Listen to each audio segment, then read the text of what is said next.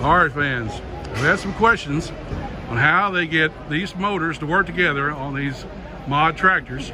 So this is uh, three Hemis um, with the big blowers that I explained in other videos uh, on this for the Farm Machinery Show. There's some three engine mods here and some four engine mods.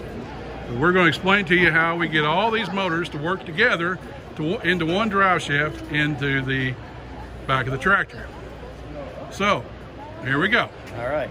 So you'll see on each engine we have a clutch. There's one here, there's one there, and there's one right here. So each motor has a drive shaft to a common gearbox.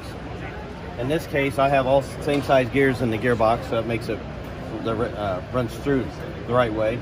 So all them get all that power is combined into this gearbox.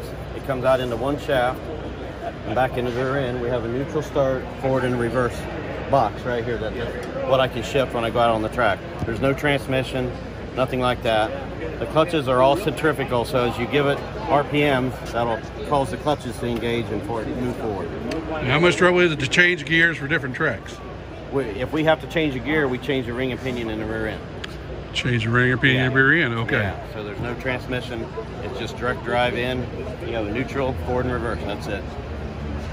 Gotcha, gotcha.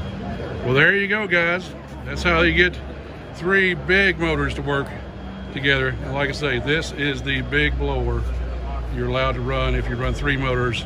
If you run four, you have to run the smaller one. So you guys have a great day. You drive supercharged alcohol. Thanks.